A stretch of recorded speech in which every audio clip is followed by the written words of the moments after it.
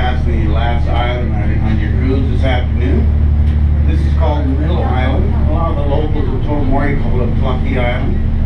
It's one of five privately owned islands within the park, however, it has no buildings on it. This island has exactly the same job that I have. It just sits there and looks pretty.